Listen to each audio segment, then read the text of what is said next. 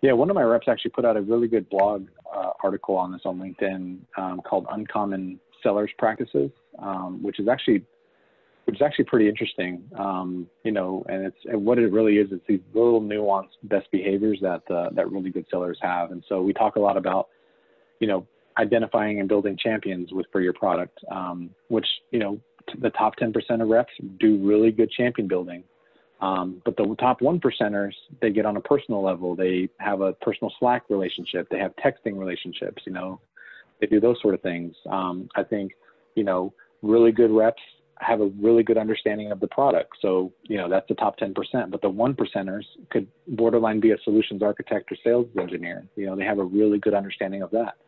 Um, I think really good reps have, you know, they know MEDDPICC or they know sales methodology. They know how to qualify deals. The top 10% do. But the 1% could teach the entire sales org how to do MEDDPICC and the sales process and methodology. So I think it's just a mastery of those skills, which I think separates the top 10% from the top 1%.